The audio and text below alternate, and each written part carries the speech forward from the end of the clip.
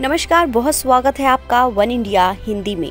आज 16 फरवरी है। साल के दूसरे महीने का ये सोलवा दिन इतिहास में अपनी एक खास जगह रखता है। आज के दिन देश दुनिया में कई ऐसी घटनाएँ हुई थी जिसे जानना आपके लिए बेहद ज़रूरी है। तो आइए नज़र डालते हैं आज के इतिहास पर। दादा साहेब फाल्के वो महापुरुष हैं जिन्हें भारतीय फ़िल्म उद्योग का पितामह कहा जाता है। पहली भारतीय चलचित्र बनाने का असंभव कार्य करने वाले वो पहले व्यक्ति बने थे। आज ही के दिन 16 फरवरी साल 1944 को दादा साहेब फलके का निधन हुआ था। उनके सम्मान में दिए जाने वाले दादा साहेब फलके पुरस्कार को सिने जगत का सबसे प्रतिष्ठित सम्मान माना जाता है।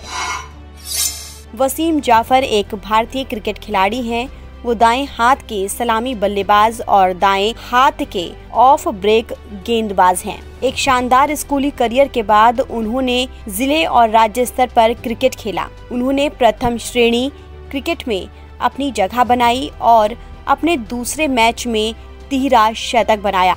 वसीम जाफ़र का जन्म आज ही के दिन 16 फरवरी साल 1978 में हुआ था।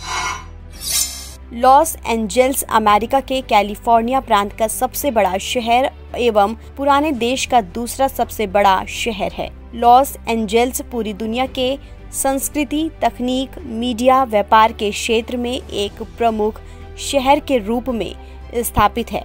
आज ही के दिन 16 फरवरी साल 1914 में लॉस एंजलिस और सैन फ्रांसिस्को के बीच पहले विमान ने उड़ान भरी थी।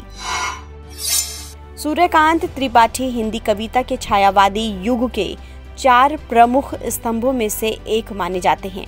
उन्होंने कई कहानियाँ, उपन्यास और निबंध भी लिखे हैं, लेकिन उनकी ख्याति विशेष रूप से कविता के कारण ही है।